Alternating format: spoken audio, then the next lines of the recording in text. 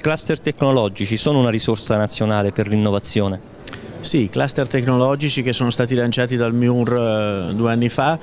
sono un'importantissima infrastruttura leggera per il governo delle politiche di innovazione, li avevamo pensati per porre un po' di riordino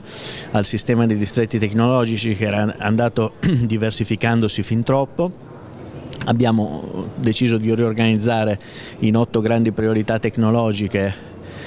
l'organizzazione dell'attività di ricerca delle imprese, degli enti pubblici di ricerca delle università italiane e questo eh, in questo momento viene riconfermato come il grande indirizzo con cui il MIUR intende organizzare l'ingaggio pubblico-privato sui grandi temi di ricerca anche con riferimento al rapporto con l'Europa.